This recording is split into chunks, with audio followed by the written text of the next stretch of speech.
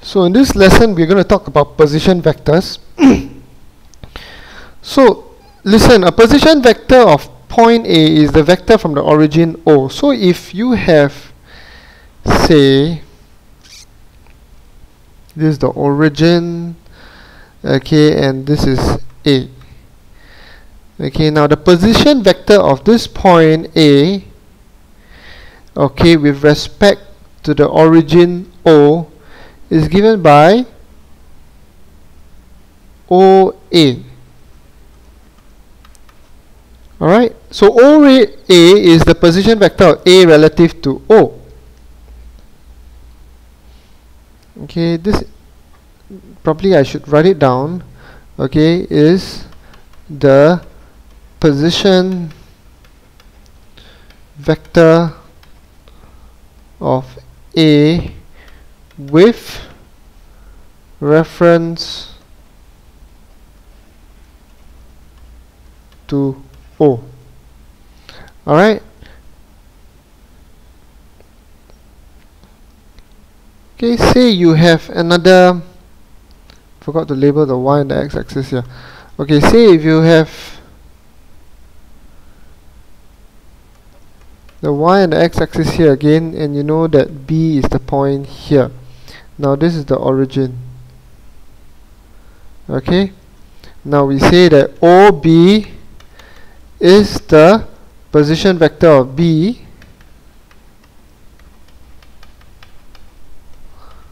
B with reference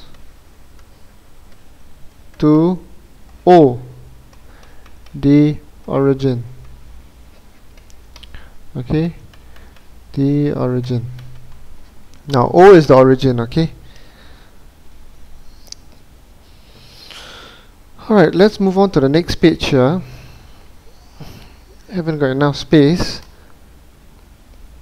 So if you have got a point say B okay? And B has coordinates PQ okay now the position vector of B with reference to the origin can be represented by OB equals to PQ alright where this is the X component. Okay there you go and this is the Y component. She comes here. Y component okay you can put it upwards like that vertically and uh, express it as a column vector. Okay now now comes the next interesting part. Let's say we have a vector AB okay now AB means A to B. You got two points A and B. Okay and it also means that AB is the position vector of B with reference to A. Okay, this is the reference point. Okay, and we say that AB can be expressed as OB minus OA. Now, this is something that you really have to take note of. Okay, it will really come in handy when you you do your questions uh, your mathematical questions on vector. So do remember this formula. So if you have PQ, straight away you can represent this as OQ minus OP. Okay, if you have XZ, alright, you can represent it as OZ. Apology. You can represent XZ as OZ minus OX alright so do take note of this okay now let me give you an example. Okay you have got two coordinates P which is 3 comma 8 and Q which is 2 comma 5 okay? And you want to find the vector PQ. Okay, remember PQ can be represented as OQ OQ minus OP. Let me erase this.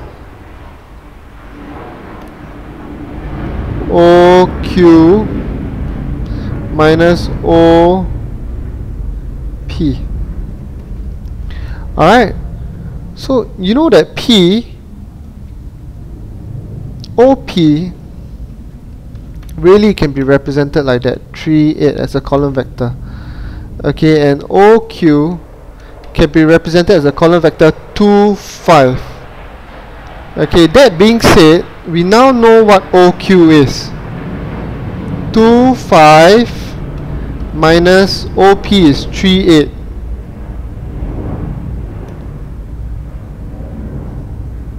okay OP is 3 8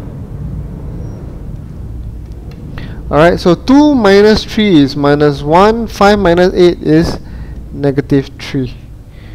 Okay, so PQ as a column vector can be represented as negative 1, negative 3 written vertically in brackets. Alright, so there you go. This is position vectors for you. Uh, I'll probably post a few more questions in the following videos to help you understand how to do questions of this genre